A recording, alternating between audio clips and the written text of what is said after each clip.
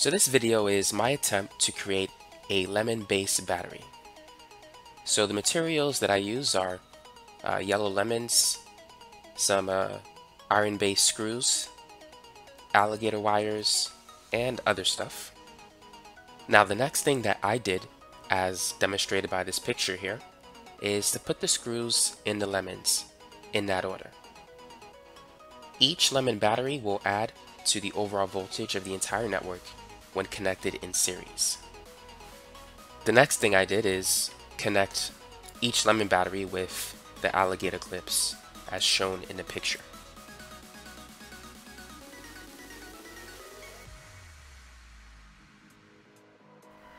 Now the next thing I did was connect the lemon battery to a digital multimeter and the voltage was very very low, only 35 millivolts, not enough to power anything at this point. The amount of current that this lemon battery is currently generating is very small, only 1 microamp.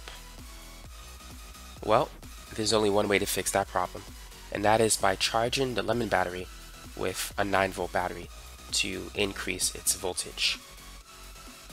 After charging it for about a minute, the voltage of the lemon battery is a little bit higher than what it was, and it's still pretty low overall. It's only 72 millivolts. We still can't do anything uh, with this battery at this point, so we need to charge it for a longer time period.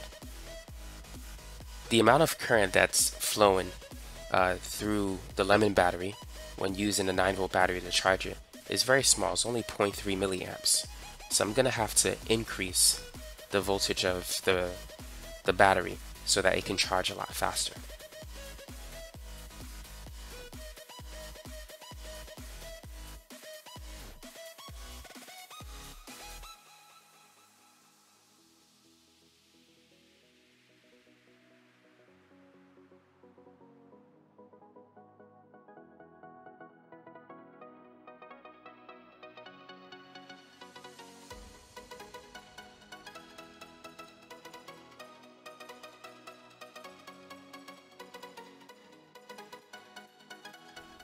So as you saw in the last video, the amount of current that is flowing through this lemon battery when being charged by 99 volts is only 3.7 milliamps, which is very small. That's going to take a long time for this battery to charge.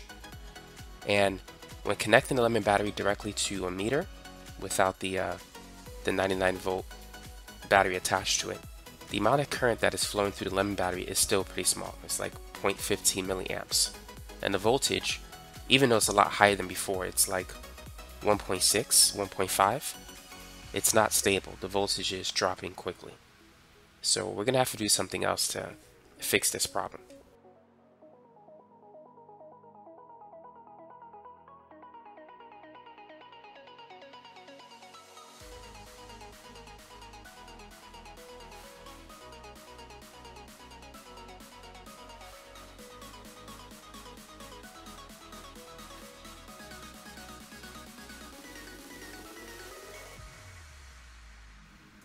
So what I decided to do is to place the metal screws in a solution of baking soda. The purpose of this is to increase the electrical conductivity inside the lemon battery so it can charge faster and also deliver more current when being used as a power source.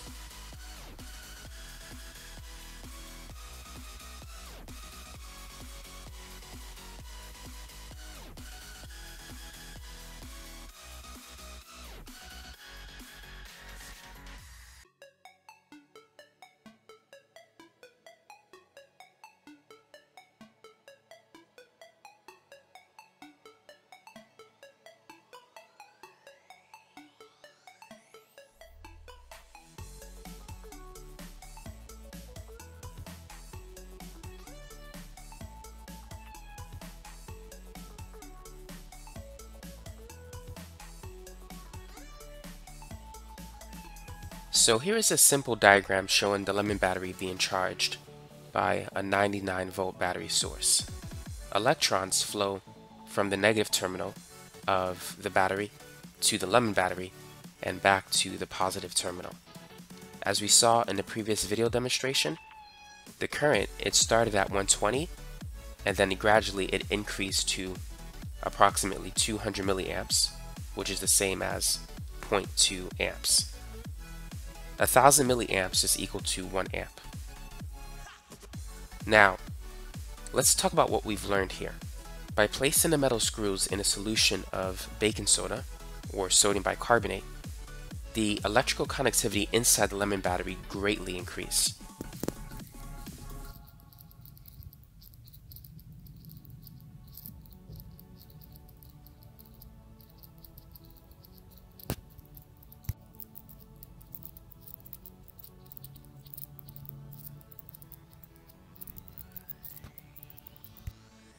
In the last video demonstration, we saw gas bubbles emanating from both the silver metal screw and also the brass looking screw.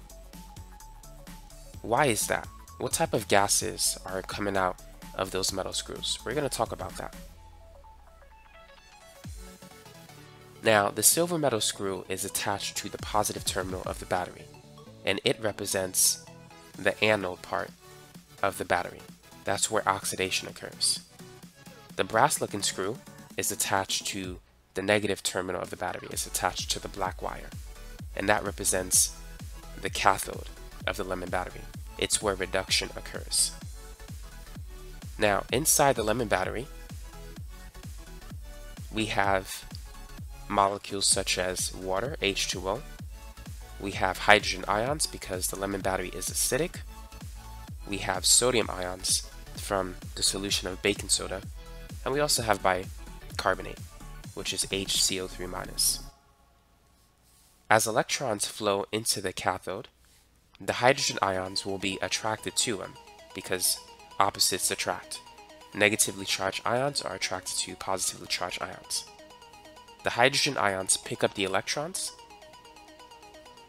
and when they do, they turn into hydrogen gas, H2. And so the gas that is emanating from the cathode or the brass looking uh, metal screw is hydrogen gas.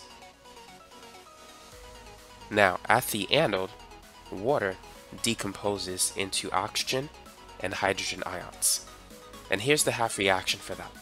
You have two water molecules, break it down into four hydrogen ions, one molecule of oxygen gas, and it's going to give up four electrons. So as water decomposes into oxygen and hydrogen, electrons are flowing out of the anode. And so that's where oxidation occurs. So electrons are entering the cathode but leaving the anode. And so the gas that is emanating from the anode or the silver looking screw is oxygen gas. So those are the gases that are coming out of this lemon battery when being overcharged by this high voltage. It's hydrogen gas and oxygen gas. Now, there's a third type of gas that can evolve from the lemon battery, and it's carbon dioxide. When bicarbonate ions interact with the acidic environment of the lemon battery, it's going to react with the hydrogen ions, forming initially carbonic acid. Now, carbonic acid is unstable and at certain conditions, it can easily decompose into water, which is a liquid at room temperature, plus carbon dioxide gas. So that's another gas that can emanate from this battery um, when you add sodium bicarbonate to it.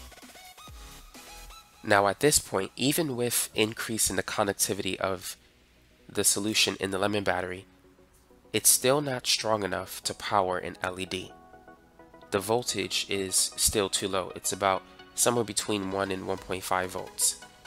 And so we still need more energy in order to power an LED.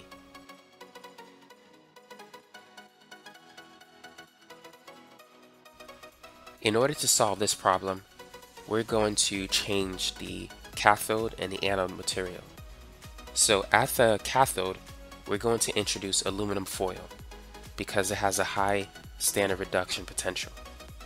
And we're going to replace the silver screw with copper metals. So I have the copper foil wrapped around the silver screw. But I'm going to take out the silver screw once the copper foil is in the lemon battery. And let's see what's going to happen.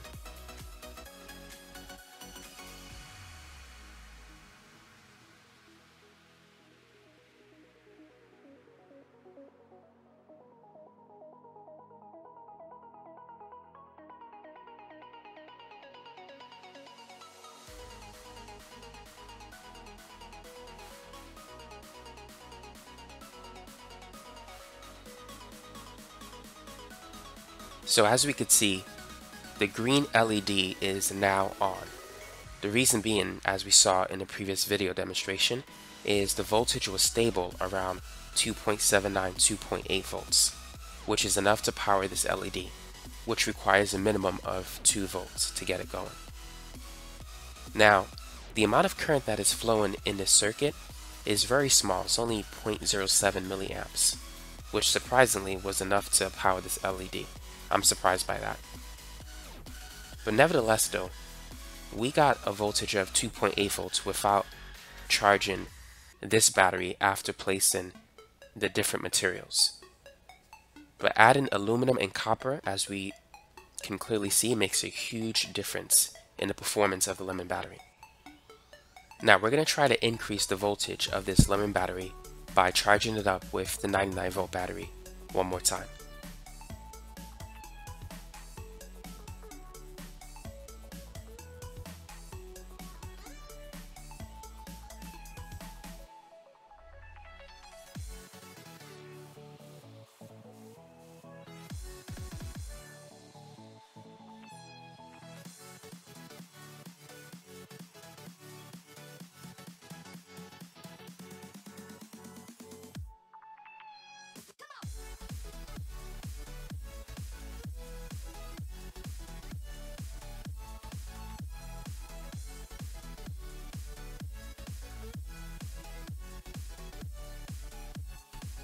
So after charging the lemon battery for about a minute or two, it wasn't that long, the lemon battery is a lot stronger.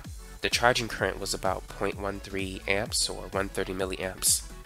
This is due to the fact of putting the metal screws in a baking soda solution, which increase the electrical conductivity inside the lemon battery, thus decreasing its internal resistance. So now the lemon battery has a, a much higher voltage than before the voltage is now about 4 volts, and we can see why the LED is so bright now.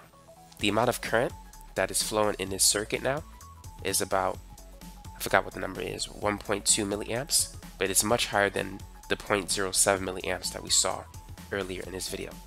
So let's summarize the main takeaways from this video. To increase the strength of the lemon battery, we need to use the right anode and cathode materials. In this case, aluminum and copper was a good choice. The second thing we needed to do was increase the electrical conductivity of the lemon battery solution. One way to achieve that was to put the anode and cathode materials in an electrolyte solution. In this case, baking soda was a good choice. So that's it for this video. Hopefully you found it to be educational and informative. Thanks for watching.